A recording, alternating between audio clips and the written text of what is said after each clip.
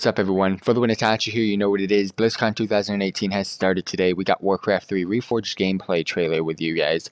Um, we got some Warcraft 3 information. If you guys haven't checked it out already, I've released a Warcraft 3 cinematic um, overview for you guys on this channel.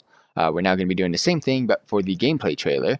And this is work in action, work in progress, but they're basically recreating and recapturing the originals of Warcraft 3 and bringing it to today's up to par speeds of our modern day PCs. So without further ado, let's go ahead and see what this is all about. Damn, you can already see a huge difference. Holy shit. So they want to keep the cartoony feel, I'll tell you that much.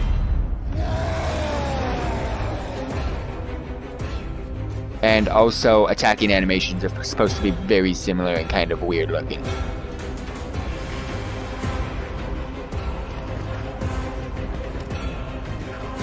But pretty much modern upgrades, kind of. I mean, it's pretty damn good. Oh, wow. Look at the huge difference that was. The humans look like freaking dwarves.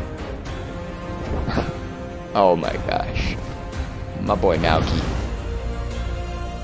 Remastered maps and campaigns. Oh yeah. Look at the changes, fam. Of course they had to bring in a new UI, otherwise that'd be dumb old UI was AIDS.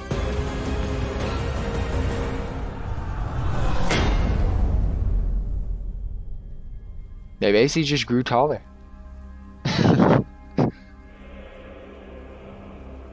We're too late. This entire city must be purged. Is that Stratholme? Because that was pre-Lich King boy.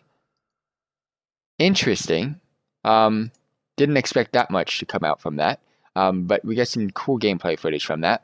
Um, if you guys want to see me actually play Warcraft 3, let me know in the comment section down below. And did you play Warcraft 3 when it first came out? Catch you guys in the next one. Peace.